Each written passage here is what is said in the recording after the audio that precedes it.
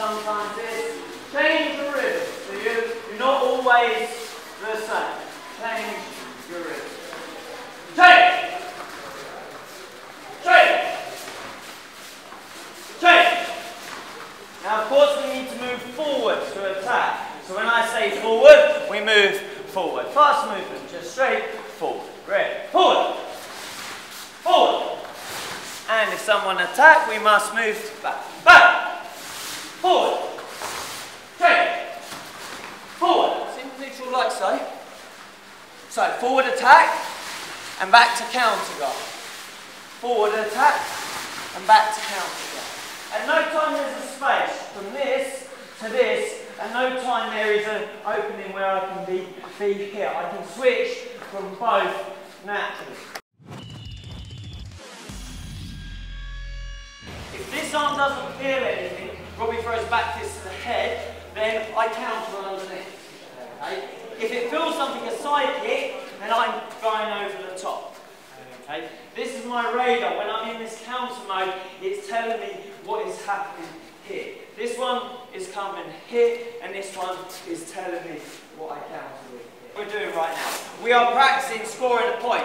The reason I am like this is to counter-attack it okay? So whatever he attacks me with, I'm in this position to counter-attack it, not, not to defend, okay? If I'm in this position, it's because I'm going to attack him, okay? We are either attack or counter-attack. Both score points. Defend does not score points, okay?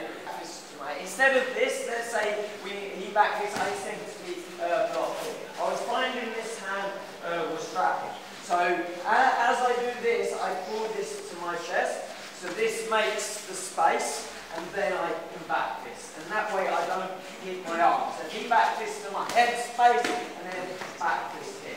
So maybe a few times you just want to practice from this guard. So here, and then back. So I, I need the hand to make the distance and back. So this hand to here at the same time. If I need this here,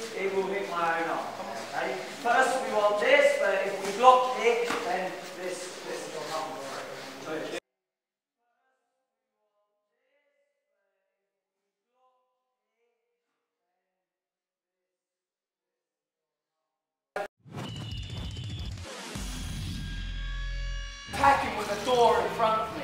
So if he was to throw a technique, then the door's going to hit it before I get him. Okay? So from neutral position here, switch the guard and move forward. Move forward and then slap off. Attacking guard forward, neutral and back. Against the counter, reverse punch is difficult to, to use the door more. Okay? But we maybe don't know what they're going to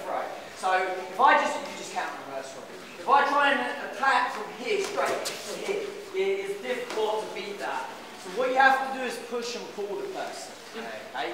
So I, am just in a neutral, I, like push and I push, I push and I push. I'm working my way in, I'm getting closer. I'm